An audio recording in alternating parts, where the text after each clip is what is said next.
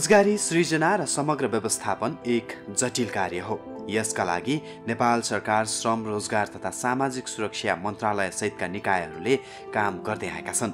एकैपल्ट सबै विषयमा प्रगति हुन नसके पनि प्रधानमन्त्री रोजगार कार्यक्रम अन्तर्गत रहेर मन्त्रालयले रोजगारीको हक सम्बन्धी ऐन दुई हजार पचहत्तर बमोजिम प्रत्येक नागरिकलाई न्यूनतम रोजगारीको प्रत्याभूतिका लागि आन्तरिक रोजगारीका अवसरहरू प्रदान गर्दै आएको छ। यसै गरी उक्त कार्यक्रम अन्तर्गत आन्तरिक रोजगारीको विस्तार र प्रवर्धनका लागि मन्त्रालयले रोजगारदातासँग नियमित परामर्श र छलफल गरी आवश्यक क्रियाकलाप समेत गर्दै आएको छ। विशेष गरेर बेरोजगार सूची निर्धारण तथा प्राथमिकीकरण गर्दै युवा रोजगारीका लागि रूपान्तरणकारी काममा समेत प्रधानमन्त्री रोजगार कार्यक्रम महत्त्वपूर्ण रहँदै आएको छ। सङ्घमा मन्त्रालय तथा रोजगारदाता र प्रदेश तथा स्थानीय तहबाट तत्त निकायमा समन्वय र सहकार्य गर्दै सरकार रोजगार व्यवस्थापनमा सक्रिय रहेको छ। हाल प्रधानमन्त्री रोजगार कार्यक्रम अन्तर्गत रोजगार सेवा केन्द्रहरू पालिकामा सक्रिय रहेका छन्। तर श्रम तथा सामाजिक रोजगार मन्त्रालयमा सबैभन्दा ठुलो भार भने वैदेशिक रोजगारीको देखिन्छ र यसको व्यवस्थापन पनि उत्तिकै महत्त्वपूर्ण रहेको छ। नेपालको श्रम बजारमा प्रत्येक वर्ष पाँच लाखका हाराहारीमा नयाँ श्रम शक्ति प्रवेश गर्ने मन्त्रालयको तथ्याङ्क छ।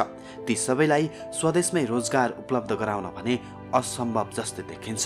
यस सन्दर्भमा दीर्घकालीन रोजगार प्रवर्धनका लागि सरकार आन्तरिक रोजगार दशकको कार्यक्रमको तयारीमा रहेको छ। अर्कातर्फ आन्तरिक र वैदेशिक श्रम तथा रोजगारीका क्षेत्रमा गुणात्मक सुधारका लागि केही नीति नियम तथा कानुनी परिमार्जनको समेत आवश्यकता रहेको छ। यिनै विषयमा रहेर नेपाल सरकार श्रम रोजगार तथा सामाजिक सुरक्षा मन्त्रालयका सहसचिव राजीव पोखरेलसँग गरिएको रोजगार बहस अबको पालोमा राजीव सर यहाँलाई रोजगार बहसमा स्वागत छ। धन्यवाद। आराम हुनुहुन्छ नि? ठिक छ। अब यो रोजगारकै विषयमा केन्द्रित हुँदाखेरि चाहिँ नेपालको आन्तरिक रोजगार प्रवर्धनका लागि अहिलेका वर्तमान राष्ट्रिय नीति कानुन र मापदण्डमा विशेष फोकस गरौँ जस्तो लाग्यो के छ सर यसमा त्यहीँबाट सुरु गरौँ हामीसँग राष्ट्रिय रोजगार नीति दुई हजार एकहत्तर भनेर अहिले कार्यान्वयनमा छ। तर त्यो राष्ट्रिय रोजगार नीति पनि अब पुरानो भइसकेको र अब अहिले नयाँ जुन सङ्घीयताको उसमा प्रदेशको स्थानीय तहको सङ्घको समन्वय सहकार्य कसरी हुने भन्ने विषय चाहिँ अति आवश्यक भएकोले अहिले यसमा परिमार्जन गर्ने कामहरू भइरहेको छ। वर्तमान अवस्थामा नेपालको रोजगार प्रवर्धनका लागि अथवा आन्तरिक रोजगार प्रवर्धनका लागि त्यस्ता भएका ठ्याक्कै नीतिगत विषयहरू नै भन्दा चाहिँ के के छन्? जुन हामीले राष्ट्रिय रोजगार नीति बनायौँ यसले चाहिँ हामीले मुख्य गरी युवा जनशक्तिहरू जो लेबर मार्केट श्रम बजारमा हुनुहुन्छ श्रम बजारमा आएका मानिसहरूलाई हामीले उत्पादन र प्रतिफलयुक्त रोजगारी कसरी सिर्जना गर्न सकिन्छ होइन? त्यस्तै अब अहिले अनौपचारिक सेक्टरमा काम गरी इन्फर्मलमा जसले काम गरिरहनु भएको छ उहाँहरूलाई कसरी औपचारिक उसमा फर्मल वेमा ल्याउन सकिन्छ? त्यस्तै अब कसरी उहाँहरूको ज्ञान र सिप अभिवृद्धि गर्न सकिन्छ? भन्ने कुराहरू छन् विशेष गरी।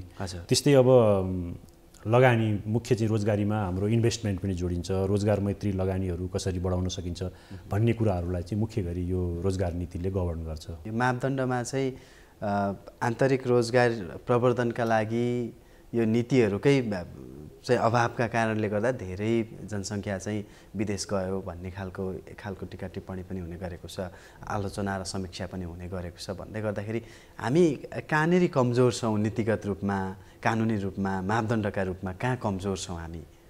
हामीले राष्ट्रिय रोजगार नीति बनाइसकेपछि त्यसलाई कार्यान्वयन गर्नको लागि चाहिँ जस्तै हामीले वैदेशिक रोजगारको लागि वैदेशिक रोजगार नीति बनाएपछि त्यसलाई कार्यान्वयन गर्न वैदेशिक रोजगार ऐन नियम बनायौँ त्यस्तै हामीले कार्यालयहरू वैदेशिक रोजगार कार्यालय वैदेशिक रोजगार विभाग खोल्यौँ। तर आन्तरिक रोजगार नीति बनाए पछाडि हामीले त्यसलाई गभर्न गर्ने एउटा आन्तरिक रोजगार विभाग बनाउने वा आन्तरिक रोजगार महाशाखा बनाएर गभर्न गर्ने काममा अहिले कमी भएको छ र पछिल्लो चरण चाहिँ मन्त्रालयले यसमा थप काम गरिरहेको छ।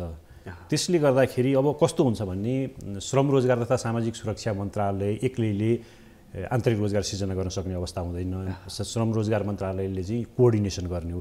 अब रोजगारीका अवसरहरू सिर्जना हुने भनेको मुख्य गरी हाम्रो विकास सम्बन्धी मन्त्रालय मानव भौतिक पूर्वाधारका कुराहरू भए सहरी विकासका कुराहरू भए त्यस्तै खानेपानीका कुराहरू भए शिक्षा मन्त्रालयले शिक्षा नीतिका कुराहरू भए त्यस्तै उद्योग मन्त्रालय कृषि मन्त्रालय लगायत सम्पूर्ण जुन नेपाल सरकारको एउटा क्युमुलेटिभ काम हुन्छ त्यो सम्पूर्णले चाहिँ रोजगार सिर्जना गर्ने भएकोले गर्दाखेरि यी सबै नीति र मन्त्रालयहरूको काम कारवाही बिच चाहिँ एउटा इन्टिग्रेसन हुनुपर्छ आन्तरिक रोजगारमा।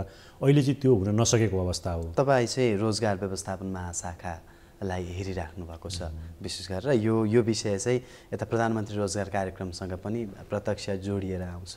भन्दै गर्दाखेरि अहिले हाम्रो व्यवस्थापकीय पाटो चाहिँ कस्तो छ? रोजगार व्यवस्थापन महाशाखाले के गरिराखेको छ? र यसका व्यवस्थापकीय पाटाहरू के छन्?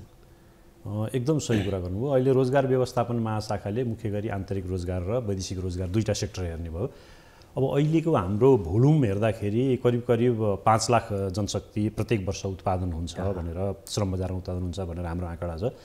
त्यो अनुसार साढे तिन लाख नयाँ र पुरानो गरेर करिब करिब गत वर्षको डाटा हेर्दाखेरि पनि सात लाख एकहत्तर हजार मानिसहरू चाहिँ वैदेशिक रोजगारमा गएको देखिन्छ। अब आन्तरिक रोजगारको हामीले डाटा हेर्दाखेरि तिरासी हजार हामीले प्रधानमन्त्री रोजगार कार्यक्रम अन्तर्गत जुन अनिवार्य रोजगारीका कुराहरू गरेका छौँ रोजगारीको हक सम्बन्धी ऐन कार्यान्वयन गर्ने क्रममा त्यसमा सिर्जना गरेका छौँ र अरू प्राइभेट सेक्टरहरूबाट सिर्जना हुने रोजगारीका अवसरहरू हेर्दाखेरि त्यो साह्रै नै न्यून देखिन्छ। त्यसकारण पनि यसलाई गभर्न गर्नको लागि आगामी दिनमा चाहिँ गभर्मेन्टले जुन पिएमइपी एउटा अनिवार्य रोजगारी भयो त्यस्तै सम्पूर्ण अघि मैले भनेअनुसार सम्पूर्ण क्षेत्रबाट जहाँ जहाँबाट रोजगारी सिर्जना हुन्छ त्यसलाई चाहिँ वान विन्डो सर्भिसबाट लिएर जानको लागि एउटा आन्तरिक रोजगार मन्त्रालय वा आन्तरिक रोजगार विभाग गठन गरेर एउटा महाअभियानको रूपमा लिएर जानुपर्ने देखिन्छ। अब यो समन्वयको कुरा हुन्छ। व्यवस्थापनमा चाहिँ सबैभन्दा मेन कुरा समन्वयको कुरा हुन्छ। मन्त्रालयले काम गर्दै गर्दा र प्रोजेक्टको रूपमा चाहिँ कार्यक्रमहरू अघि सार्दै गर्दाखेरि चाहिँ यो केन्द्रसँगको समन्वय सँगसँगै स्थानीय र प्रदेशसँगको समन्वय र यसको संरचनागत अवस्था चाहिँ कस्तो छ अहिले? हामी सङ्घीयतामा भर्खरै मात्रै प्रवेश गरेका छौँ होइन? त्यस कारणले गर्दाखेरि प्रदेश स्थानीय तह र सङ्घसँगको जुन साझा अधिकारका कुराहरू छन् अब यो रोजगारी सिर्जनामै हामी जाँदाखेरि यो साझा अधिकारको कुरा भयो। स्थानीय तहले पनि रोजगारी सिर्जना गर्न सक्ने भयो प्रदेशले पनि गर्ने भयो र सङ्घले पनि गर्ने भयो। र हामीले सहकार्य र समन्वय गरेर यसलाई कसरी बढाउने भन्ने कुरा आवश्यक अहिले राज्यको आवश्यकता भयो। तर हामीले आफ्नै तरिकाले काम गरिरहेका छौँ अहिले। मानौँ स्थानीय तहले कुनै सिपको तालिम दिने वा रोजगारी सिर्जना गर्ने काम आफ्नै तरिकाले गरेको छ प्रदेशले आफ्नै तरिकाले गरेको छ सङ्घले आफ्नै तरिकाले गरेको छ। यो बिच अहिले चाहिँ समन्वय हुन सकेको छैन डाटा इन्टिग्रेसन हुन सकेको छैन। त्यस कारणले गर्दाखेरि कसरी यसलाई इन्टिग्रेसन लिएर जान सकिन्छ भनेर पछिल्लो समय अहिले प्रधानमन्त्री रोजगार कार्यक्रमले हामीले एउटा नेमिस भन्ने नयाँ सफ्टवेयर बनाउने भन्ने एउटा सोचिरहेको छ। त्यो भनेको चाहिँ कस्तो हो भन्दाखेरि एउटा रोजगारको इम्प्लोइमेन्ट हब हो जस्तो। जस्तै इम्प्लोयरलाई रोजगारदातालाई मलाई यस्तो किसिमको मान्छे चाहियो भनेर उसले त्यसमा डिमान्ड गर्छ। र मसँग त्यो सिप छ भने मैले मसँग छ भन्ने कुरा आफ्नो बायोडाटा त्यहाँ इन्ट्री गर्छु। त्यस कारण लिने र दिने बिच जुन एउटा हबमा हामीले भेटाइदिने जसले गर्दाखेरि ब्रिजको काम।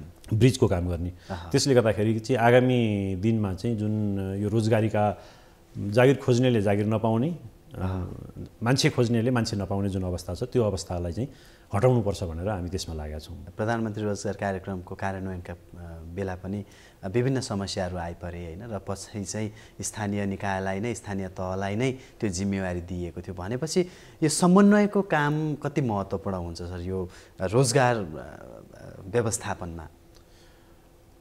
एकदम सही प्रश्न गर्नुभयो। वास्तवमा बिना समन्वय हामीले जुन सबैलाई हामीले रोजगारी दिने भन्ने राज्यको एउटा ध्येय छ लक्ष्य छ त्यो लक्ष्य प्राप्ति गर्न सक्दैनौँ होइन? हामीले कोअर्डिनेसन गर्नुपर्ने हुन्छ स्थानीय तहमादेखि लिएर प्रदेश सङ्घसम्म गर्नुपर्ने हुन्छ। त्यस कारण अघि मैले भने एउटा डाटा ब्याङ्कको आधारमा भयो र यसको अल्टिमेटली हामीले कार्यान्वयन गर्ने भनेको चाहिँ स्थानीय तहमा हो। त्यस कारण स्थानीय तहमा जति हामीले सशक्तिकरण गर्न सक्छौँ त्यति रोजगारका लक्ष्यहरू प्राप्त गर्न सक्छौँ भनेर अहिले पछिल्लो समयमा हामीले श्रम रोजगार तथा सामाजिक सुरक्षा मन्त्रालयले के गरिरहेछ भन्दाखेरि हामीले फनेल मोडल भनिरहेछौँ। त्यो फनेल मोडल भनेको श्रम रोजगार तथा सामाजिक सुरक्षा मन्त्रालयले जे जति सर्भिस दिन्छ आन्तरिक रोजगारको होस् वैदेशिक रोजगारको होस् त्यो सम्पूर्ण सर्भिसहरू तालिम सिपको होस् त्यो सम्पूर्ण सर्भिसहरू चाहिँ स्थानीय तहसम्म पुर्याउने र स्थानीय तहमा अहिले हामीले रोजगार सेवा केन्द्र भनेर प्रत्येक सात सय त्रिपन्न स्थानीय तहहरूमा छन्। त्यो रोज रोजगार सेवा केन्द्र मार्फत चाहिँ सम्पूर्ण सेवाहरू दिने भनेर अहिले पछिल्लो समय मन्त्रालय त्यसमा लागि परेको छ। त्यस त्यसको लागि चाहिँ स्थानीय तहलाई स्ट्रेन्थेनिङको काम हामीले गरिरहेका छौँ। अब यो आन्तरिक एवं वैदेशिक रोजगार सम्बन्धी ऐन नियमको भूमिका पनि त्यत्तिकै महत्त्वपूर्ण हुन्छ। यसको चाहिँ वर्तमान अवस्था कस्तो छ र जस्तो ऐन नियमहरू संशोधन गर्नुपर्ने अथवा त्यस्ता केही पोइन्ट आउटहरू भएका छन् मन्त्रालयबाट अथवा सिङ्गो नीति नियमको संशोधनको विषय के छ? आन्तरिक रोजगार सम्बन्धी अहिले रोजगारको हक सम्बन्धी ऐन दुई हजार पचहत्तर भनेर जुन हामीले ल्यायौँ त्यो चाहिँ अनिवार्य रोजगारी जुन संविधानले किटान गरेको छ अनिवार्य रोजगार रोजगारीको हक सम्बन्धी राइटको कुरा। त्यसलाई चाहिँ इस्ट्याब्लिस गर्नको लागि ऐन ल्याइयो तर यसले अब मिनिमम सय दिनको रोजगार दिने भन्ने कुरा आयो। तर टोटलमा आन्तरिक रोजगारलाई व्यवस्थापन गर्न एउटा क्युमुलेटिभ ऐनको जुन आवश्यकता छ त्यो चाहिँ अहिले आइसकेको अवस्था छैन। त्यस कारण त्यो ल्याउनुपर्छ जसमा चाहिँ सामाजिक सुरक्षाका कुराहरू जोडिउन् होइन? अरू बिमाका कुराहरू जोडिउन् रोजगारी अब बेरोजगारी भत्ताका कुराहरू जोडिउन् भनेर पछिल्लो समय मन्त्रालयले काम गरिरहेको छ आन्तरिक रोजगारतर्फ भने। वैदेशिक रोजगारतर्फ वैदेशिक रोजगार ऐनहरू छ तर अब धेरै पुरानो दुई हजार चौसठीमा आएको कारणले गर्दाखेरि त्यसमा पनि समसामयिक परिमार्जन भनेर मन्त्रालयले अहिले टिम बनाएर त्यसमा काम गरिरहेको अवस्था छ। र आन्तरिक रोजगार र वैदेशिक रोजगार कसरी जोडिन्छ भने जस्तै वैदेशिक रोजगारमा फर्किएर गएका मानिसहरू जब फर्केर आउँछन् फर्केर आउँदाखेरि उनीहरूले सिकेका सिप र जुन ल्याएको पुँजी हुन्छ त्यसलाई प्रयोग गरेर हामीले आन्तरिक रोजगार वा स्वरोजगारको अवसरहरू सिर्जना गर्न सक्यौँ। त्यसको लागि चाहिँ राज्यले फेसिलिटेट गरिदियो भने ती मानिसहरू फेरि फर्केर वैदेशिक रोजगारमा जाँदैनन् र यहीँ रोजगार सिर्जना गर्छन् भनेर अहिले पछिल्लो समय हामीले चाहिँ पुनरेकीकरण नीति भन्छौँ जसलाई रिइन्टिग्रेसन फर्केर आएका मानिसहरूलाई यहाँ नेपालमै रिटेन्सन कसरी गर्न सकिन्छ यहीँ बस्ने वातावरण कसरी गर्न सकिन्छ भनेर त्यसमा पनि मन्त्रालयले काम गरिरहेको छ। मन्त्रालयमा चाहिँ प्रोजेक्टहरू गर्दै गर्दाखेरि त्यसको अध्ययन अनुसन्धान र त्यसको प्रतिवेदनहरूको भूमिका पनि त्यत्तिकै महत्त्वपूर्ण रहन्छ। जस्तो यो रोजगार प्रवर्धनका विषयमा चाहिँ राष्ट्रिय अन्तर्राष्ट्रिय प्रतिवेदनहरूको अवस्था अध्ययन चाहिँ के छ सर? जस्तो ती अध्ययन प्रतिवेदनहरू कति ठिकठाक आउँछन् नेपालको सन्दर्भमा र बाहिरी प्रतिवेदनसँग नेपालको प्रतिवेदनहरू कम्पेयर गर्दाखेरि हामी कहाँ छौँ कस्तो अवस्थामा छौँ? पछिल्लो समय हामीले वैदेशिक रोजगारको क्षेत्रमा नेपाल माइग्रेसन रिपोर्ट भनेर प्रत्येक वर्ष प्रकाशन गर्छौँ जसले चाहिँ अब माइग्रेसनको प्याटर्न कस्तो छ कुन देशमा मानिसहरू गइरहेका छन् कस्तो सु सेवा सुविधा पाइरहे पाइरहेका छन् उनीहरूको अब मृत्युदर उनीहरूका समस्याहरू के छन् भन्ने लगायतका कुराहरूलाई केलाएर हामीले आगामी वे फरवार्ड के हुन्छ भनेर भन्ने गर्छौँ भने आन्तरिक रोजगारतर्फ श्रम मन्त्रालयले त्यस्तो डाटा अहिले सिर्जना भएको देखिँदैन। अहिले हामीले चाहिँ जुन सिबिएस हाम्रो राष्ट्रिय तथ्याङ्कले जनगणना गर्छ त्यस्तै औद्योगिक गणनाहरू हुन्छ होइन? श्रम सर्वे हुन्छ लेबर सर्वे त्यो त्यो लगायतको विषयहरूबाट हामीले डाटाहरू लिइरहेका छौँ। र त्यसैलाई एनालाइसिस गरेर हामीले बेरोजगारी जस्तै अहिले हामी एघार पोइन्ट छ पर्सेन्ट भनिरहेछौँ त्यसलाई आधार मानेर चाहिँ हामीले यकिन गर्छौँ। अन्य मुलुकहरूको तुलनामा हाम्रो देशमा आन्तरिक रोजगारीको अवस्था कस्तो छ? आन्तरिक रोजगारको अवस्था हाम्रो देशमा राम्रो छैन नि भन्नुपर्छ हामीले होइन? किन भन्दाखेरि आन्तरिक रोजगारको अवस्था यदि मर्यादित र पर्याप्त पुग्ने गरी यदि आन्तरिक रोजगारको अवसरहरू भएदेखि वैदेशिक रोजगारमा मानिसहरू कम जाने गर्दथे। अहिले वैदेशिक रोजगारी चाहिँ एउटा रहर मात्रै होइन बाध्यता पनि भएको छ। त्यसको मूल कारण भनेको चाहिँ हामीले पर्याप्त र राम्रा किसिमका आन्तरिक रोजगार सिर्जना गर्न नसक्नु हो। अब डाटामा हामीले एघार पोइन्ट छ पर्सेन्ट हाम्रो बेरोजगारी भन्छौँ तर हामीले कृषि क्षेत्रमा लागेका काम गरिरहनु भएका जुन ठुलो जनसङ्ख्या छ त्यो जनसङ्ख्यालाई चाहिँ हामीले फेरि रोजगारीमा गनिरहेका छौँ। त्यस कारणले गर्दाखेरि यदि त्यो सङ्ख्या ठुलो सङ्ख्या ठुलो सङ्ख्यालाई चाहिँ बेरोजगार बेरोजगार नै छ। त्यस कारणले गर्दाखेरि हामीले आन्तरिक रोजगारको अवसर सिर्जना गर्ने हाम्रो मार्केटमा चाहिँ आन्तरिक रोजगारलाई जोड्न सक्ने अवसरहरू धेरै छन्। यसैमा म एउटा विषय जोड्न चाहन्छु जस्तै अहिले नेपालमा पाँच लाख करिब पाँच लाख चाहिँ विदेशबाट आएका श्रमिकहरूले काम गरिरहेका छन्। जस्तै हामीले सस्तोमा एकदम अनस्किल्ड श्रमशक्तिहरू बाहिर पठाइरहेका छौँ भने विदेशबाट केही स्किल भएका म्यान पावरहरू आएर काम गरिरहेका छौँ। मानौँ हामीले गहना उद्योगमा भयो। गहना उद्योगमा बङ्गाल बङ्गालीहरू आएर काम गरिरहेका छन्। इँटा उद्योग भयो जुत्ता उद्योग भयो विभिन्न उद्योगहरू गरेर पाँच लाख मानिसहरू छन्। कपाल काट्ने भयो। यदि हामीले हाम्रा श्रमशक्तिलाई चाहिँ ट्रेन गराएर सिप दिएर हाम्रो आन्तरिक बजारमा काम लाउन सक्दाखेरि त्यो श्रम श्रमिक चाहिँ विस्थापित हुन्छ। किनभने नेपालीले नेपालमै काम गर्दाखेरि इम्प्लोयरलाई पनि सस्तो पर्ने र दुइटै। इम्प्लोयर र इम्प्लोइ दुइटैलाई ऊ हुने भएकोले कारणले गर्दाखेरि फाइदा हुने भएको कारणले गर्दाखेरि हामीले त्यो मार्केटहरूलाई पनि कसरी ग्राप गर्न सक्छौँ भनेर थप काम गर्नुपर्ने अवस्था छ। बेरोजगारी सम्बन्धी यो नेपालको अध्ययन अनुसन्धान तथ्याङ्क सङ्कलन अनि त्यसको विश्लेषण र निष्कर्ष जसरी निकालिन्छ त्यसले चाहिँ खासमा हाम्रो देशमा यति धेरै चाहिँ युवाहरू अथवा युवा शक्तिहरू विदेश पलायन हुनुमा ती निष्कर्षहरूले के भन्छन्? यस्तो भयो दुईवटा कारण। एउटा चाहिँ बाध्यता भयो। आन्तरिक रोजगारका अवसरहरू पर्याप्त राम्रो अघि स्यालेरीको कुराहरू पनि भयो होइन। एक किसिमले इस्टाब्लिस हुन पुग्ने गरी छैन। त्यस कारणले गर्दाखेरि बाध्यतावश रोजगारीको लागि विदेश जानुपर्ने अवस्था भयो। भने अर्कोतिर रहर पनि भइरहेछ। त्यो रहर कुन मान्यतामा म भन्छु भन्दाखेरि जस्तै प्रशस्त पढेका मानिसहरू पनि पचासौँ लाख खर्च गरेर धेरै अप्ठ्यारो बाटोबाट अमेरिका गइरहनु भएको छ यस्तो गइरहनु भएको छ भनेर सूचनाहरूमा आइरहेको छ होइन? त्यस कारणले गर्दाखेरि उहाँहरू थाहा नपाएर जानुभएको होइन थाहा पाइ पाइ पनि जानुभएको छ। र पछिल्लो समयमा राष्ट्रमा जुन बसेर हामीले रोजगारीका अवसरहरू स्वरोजगार गर्नुपर्छ राष्ट्र विकासमा हाम्रो योगदान हुनुपर्छ भन्ने भावनालाई जागरण गर्न नसक्दाखेरि चाहिँ बिस्तारै मानिसहरू चाहिँ वैदेशिक रोजगार वा शिक्षाको उद्देश्यले पनि विदेशमा गएर विदेशमै इस्ट्याब्लिस हुने ऊ पनि देखिरहेको छ। पछिल्लो समय सत्तरी हजार परिवार चाहिँ विदेशमै बस्ने गरी जानुभयो भनेर एउटा पछिल्लो रिपोर्टले देखाएको छ। त्यस कारणले गर्दाखेरि हामीले उहाँहरूलाई जानु हुँदैन यहीँ मुलुकमा रोकेर राख्नुपर्छ भन्नुभन्दा पनि हामीले उहाँहरूलाई यहाँ बस्ने वातावरण सिर्जना गर्नुपर्छ। त्यो वातावरण सिर्जना गर्नको लागि सिपका कुरा उद्योग धन्दाका कुरा रोजगारका कुरा श्रमको सम्मानका कुरा त्यसपछि श्रमको मूल्यका कुराहरूमा ध्यान दिनुपर्छ। अब यो तपाईँले भन्दै गर्दाखेरि रोजगार व्यवस्थापन भन्ने विषय आन्तरिक मात्रै नभएर बाह्यका लागि पनि हुन्छ। र यो विदेश जाने क्रममा यो श्रम कुटनीति सम्बन्धी समन्वयको कुरा पनि विशेष महत्त्वका साथ आउने गर्छ। र हामी सुन्ने गरेका छौँ कतिपय अवस्थामा विभिन्न देशहरूसँग कुटनीतिक त्यो पहल नभएका कारणले गर्दा पनि युवाहरू पुग्ने र कानुनी उल्झनहरू आउने त्यस्ता विषयहरू पनि छन्। त्यसको चाहिँ नेपालको अन्य मुलुकहरूसँगको कुटनीतिक अवस्थाको र समन्वयको वर्तमान अवस्था कस्तो छ सर? म अहिले भनौँ हामी वैदेशिक रोजगारको लागि एक सय एघारवटा मुलुक हामीले संस्थागत रूपमा भनेको जुन एजेन्सी मार्फत पठाउने गरी खुल्ला गरेका छौँ भने एक सय अठहत्तरवटा मुलुकमा व्यक्तिगत श्रम स्वीकृति लिएर जान पाइन्छ होइन? त्यसरी मानिसहरू चाहिँ हरेक देशमा हरेक कुनामा नेपाली नपुगेको ठाउँ छैन। किनभने उहाँहरू अपर्च्युनिटी खोजिरहनु भएको छ। अपर्च्युनिटी कहाँ राम्रो पाइन्छ कहाँ स्यालेरी राम्रो पाइन्छ भन्ने हिसाबले नेपालीहरू वैदेशिक रोजगारीमा गइरहेको अवस्था छ। र त्यसलाई गभर्न गर्नको लागि अहिले हाम्रो क्षमता धेरै नै कम छ। किनभने अब एक सय अठहत्तर मुलुकमा हामीसँग जम्मा तिसवटा मुलुकहरूमा मात्रै कुटनैतिक निकायहरू रहेको अवस्था छ। भने त्यो कुटनैतिक निकाय पनि दुईजना तिनजना चारजना मात्र स्टाफ भएको एकदम सानो उसमा हामीले इस्टाब्लिस गरेका छौँ। किनभने अब नेपालको आर्थिकदेखि लिएर ठुलो खर्च त्यसमा पर्ने भएकोले गर्दाखेरि क्षमताअनुसार हामीले कुटनैतिक सम्बन्धहरू कायम गरेका हुन्छौँ।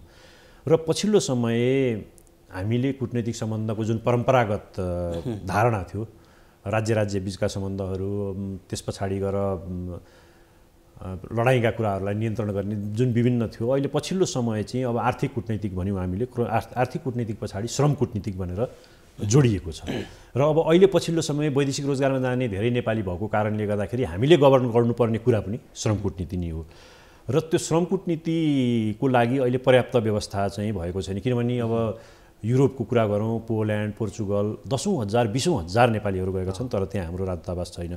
अहिले मानौँ हाम्रो नेपाली दूतावास जर्मनको कुरा गरौँ नेपाली दूतावास अस्ट्रियाको कुरा गरौँ एउटै मुलुकले दसवटा बाह्रवटा मुलुकहरू हेर्नु परेको अवस्था छ। त्यस कारणले गर्दाखेरि थोरै जनशक्ति फेरि अनि दसवटा बाह्रवटा टेरिटोरी हुँदाखेरि पर्याप्त रूपमा हेर्न नसकिरहेको अवस्था छ र हामीले जुन पाउनुपर्ने अपर्च्युनिटी वा हाम्रा दाजुभाइ दिदीबहिनीहरू अप्ठ्यारोमा परेको बेला उहाँहरूलाई गर्नुपर्ने कल्याणकारी काम गर्न केही कठिनाइ भएको चाहिँ अवश्य छ। यसमा चाहिँ पहल गर्नुपर्ने समन्वयात्मक हिसाबले पहल गरेर अघि बढ्नुपर्ने अवस्था हो। हो यो पछिल्लो समय हामीले सामान्य प्रधानमन्त्रीज्यूको अध्यक्षतामा जुन चौधवटा हाम्रो मुख्य गन्तव्य मुलुकहरू हो त्यो गन्तव्य मुलुकको महामहिम राजदूतहरूलाई यहाँ नेपालमा बोलाएर हामीले दुई दिनको अन्तर्क्रिया कार्यक्रमहरू पनि गऱ्यौँ। त्यसमा चाहिँ नेपालीहरूको अवस्था के छ परेका अप्ठ्याराहरू के के हुन् त्यसलाई कसरी हटाउन सकिन्छ भन्ने कुराहरूदेखि लिएर त्यहाँ अवसरहरू कस्ता छन् भन्ने कुरा व्यापक छलफल भएर हामीले एउटा रोड म्याप पनि बनाएको छौँ। त्यो रोड म्याप अनुसार अहिले श्रम रोजगार तथा सामाजिक सुरक्षा मन्त्रालयले काम गरिरहेको छ। अब अन्तिममा सर जस्तो यो प्रधानमन्त्री रोजगार कार्यक्रम सँग चाहिँ अहिले हामी जति पनि कुराकानी गऱ्यौँ यी सबै जोडिएर आउँछन् होइन। जस्तो व्यवस्थापनका कामदेखि लिएर रोजगार प्रवर्धनका काम आन्तरिक बाह्य सबै कुराहरू जोडिएर आउँछन्। जसरी सरकारले चाहिँ छिहत्तरबाट प्रधानमन्त्री रोजगार कार्यक्रम अघि सारेर गाउँ गाउँमा स्थानीय तहहरूले चाहिँ यसलाई समन्वय गरेर काम गरिराखेका छन्। सय दिनको रोजगारी न्यूनतम चाहिँ जसलाई आवश्यक छ उनीहरूलाई प्रभाव गरिराखेको अवस्था छ। यसले चाहिँ ओभरअल इन्डस्ट्रीमा र रोजगार व्यवस्थापनमा श्रम बजारमा चाहिँ कस्तो भूमिका निर्वाह गरेको छ र समग्र रोजगार व्यवस्थापनलाई प्रधानमन्त्री रोजगार कार्यक्रमको टेवा कस्तो छ? एकदम समसामयिक प्रश्न उठाउनु हो वास्तवमा अहिलेको मुलुकको क्षमता मुलुकको रेमिटान्स आम्दानीको स्रोत भनेको श्रमशक्ति नै हो। र श्रमशक्ति हामीले स्थानीय तहबाट नै प्राप्त गर्ने हो। र स्थानीय तहसम्म हाम्रा कार्यक्रमहरू श्रमिक हक हितका कुराहरू जागरणका कुराहरूदेखि लिएर कसरी हामीले फेसिलिटेसन गर्न सक्छौँ भन्ने कुराहरू लिएर जानुपर्ने अवस्था छ। त्यसको लागि हामीले प्रधानमन्त्री रोजगार कार्यक्रम अन्तर्गत रोजगार सेवा केन्द्रहरू सात सय त्रिपन्न स्थानीय तहमा पुर्याएर त्यहाँबाट सेवा प्रदान गरिरहेका छौँ। तर यो पर्याप्त चाहिँ छैन। किनभने अघि मैले सुरुमा भने एउटा हामी फनेल मोडलमा सम्पूर्ण सेवाहरू पुर्याउन खोजिरहेका छौँ। एक। दोस्रो प्रत्येक पालिकामा त्यहाँ भएका श्रमशक्ति कुन प्रकृतिका छन् र उहाँहरू केमा काम गर्न चाहनुहुन्छ भन्ने कुराहरूको एउटा डाटा म्यानेजमेन्टको कुरा भयो। दोस्रो हामीले स्वरोजगार गर्न चाहने मानिसहरूलाई ब्याङ्कसँग जोड्ने ब्याङ्कसँग जोडिदिने एउटा प्रमुख कडी चाहिँ स्थानीय तह हुन्छ। त्यसकारण स्थानीय सरकारले यसमा काम गर्नुपर्ने हुन्छ। तेस्रो उहाँहरूले उत्पादन गरेका कुराहरूलाई बजारीकरण गर्नेदेखि लिएर सम्पूर्ण कुराहरूमा चाहिँ प्रधानमन्त्री रोजगार कार्यक्रम जोडिन्छ। अहिले पछिल्लो समय नेपाल सरकारले वर्ल्ड ब्याङ्क आइएलओ लगायतका विभिन्न डोनर एजेन्सी एसडिसी सँग चाहिँ हामीले सपोर्टमा यो कार्यक्रम सञ्चालन गरिरहेका छौँ। र अब पछिल्लो समय यसको जुन आवश्यकता यसको महत्त्व यसको गरिमा स्थापित भएको छ अब यदि डोनरको सपोर्ट नपाउँदाखेरि पनि यसलाई हामीले चाहिँ लोकल लेभलले इन्टरनलाइज गरेर त्यहाँको त्यो श्रम बजारलाई कसरी व्यवस्थित गर्ने कसरी त्यसलाई प्रयोग गर्ने त्यसबाट कसरी बढीभन्दा बढी उत्पादन लिने भन्ने कुरामा चाहिँ काम गर्न आवश्यक छ। अब यो यही विषयमा जोडिन्छ होला तपाईँहरूले भर्खरै चाहिँ एउटा आन्तरिक रोजगार दशक भनेर अघि सार्नु भएको छ कार्यक्रम होइन? यो पनि यसमै जोडिन्छ कि अथवा यो चाहिँ भिन्न कार्यक्रम हो? यसैमा जोडिन्छ। यसैमा जोडिन्छ कसरी जोडिन्छ भन्दाखेरि अहिले हाम्रो श्रम शक्तिको करिब करिब अस्सी प्रतिशत वैदेशिक रोजगारमा गइरहेको र बिस प्रतिशत चाहिँ स्वदेशमा पिएमइपी अन्तर्गत होस् वा अरू आन्तरिक रोजगार प्राइभेट सेक्टरमा काम गरिरहेको अवस्था छ। तर हामीले देश विकासको लागि चाहिँ त्यसलाई ठिक्क उल्टो बनाउनु पर्ने अवस्था छ। आन्तरिक रोजगारमा यहाँ चाहिँ बस्ने मान्छेहरू असी पर्सेन्ट हुनुपर्छ र बिस पर्सेन्ट मान्छेहरू जो स्किल छन् ती मान्छेहरूले वैदेशिक रोजगारमा गएर त्यसलाई चाहिँ प्रशस्त रूपमा रेमिटान्स ल्याउने अवस्था हुनुपर्छ। जसले गर्दाखेरि अहिलेको रेमिटान्सको भोल्युम पनि घट्दैन तर म्यान पावर पनि यहाँ ठुलो सङ्ख्यामा रहन्छ। त्यसरी काम गर्नको लागि चाहिँ के गर्ने भनेर मन्त्रालयले व्यापक छलफल गरे पछाडि हामीले आन्तरिक रोजगार दशक बनाउनु पर्दछ। र त्यो दशकमा मैले भनेअनुसार यो जुन अस्सी पर्सेन्टलाई वैदेशिक रोजगारलाई आन्तरिक रोजगारमा ल्याउने र बिस पर्सेन्ट जुन आन्तरिक रोजगार छ त्यसलाई वैदेशिक रोजगारमा पठाउने भनेर हामीले एउटा ब्रेन स्ट्रोमिङ भनौँ गरेर छलफलहरू गऱ्यौँ स्टेक होल्डरहरूसँग र अहिले नेपाल सरकारलाई जुन आउने बजेट हो बजेट मार्फत चाहिँ यसको घोषणा हुनुपर्छ नीति कार्यक्रममा भनेर हामीले प्रपोज गरेका छौँ। त्यसले गर्दाखेरि जुन सुरुमा हामीले कुरा गरेका थियौँ श्रम रोजगार मन्त्रालयले समन्वय गर्ने हो र यसको स्टेक होल्डरहरू भनेको उद्योग मन्त्रालय कृषि मन्त्रालय विकासे मन्त्रालयहरू सम्पूर्ण रहने भएको कारणले गर्दाखेरि ती सबैबाट सिर्जना हुने रोजगारलाई कसरी एउटै हबमा ल्याउने कसरी इन्टिग्रेटेड एप्रोचमा लिएर जाने कसरी कोअर्डिनेसनको वातावरणहरू बनाउने भने एउटा सङ्घमा हुन्छ भने अर्को सङ्घ प्रदेश स्थानीय तह। यसरी हामीले सम्पूर्णबाट सिर्जना हुनेलाई चाहिँ एउटै बास्केटमा लिएर आउँ भन्ने उद्देश्यले अहिले आन्तरिक रोजगार दशकको सुरुवात गरिएको र अब यो कन्सेप्टलाई कसरी कार्यान्वयन गर्ने यसमा के के काम गर्ने कसको भूमिका के हुने भन्ने लगायतका विस्तृत जुन कार्ययोजना बनाउन चाहिँ बाँकी नै छ। हस् सर यो समय र यो सन्दर्भका लागि धेरै धेरै धन्यवाद। धन्यवाद। हस्त दर्शकबिन आजको रोजगार बहस यति नै। आज हामीसँग बहसका लागि कुराकानीका लागि श्रम रोजगार तथा सामाजिक सुरक्षा मन्त्रालयका सहसचिव राजीव पोखरेलजी हुनुहुन्थ्यो। आज हामीले नेपालमा रोजगारीका लागि भए गरेका नीति नियम कानुन सँगसँगै यसको व्यवस्थापकीय विषयमा कुराकानी गऱ्यौँ बहस गऱ्यौँ हस्त नेपाल टेलिभिजन हेर्दै गर्नुहोला। नमस्कार।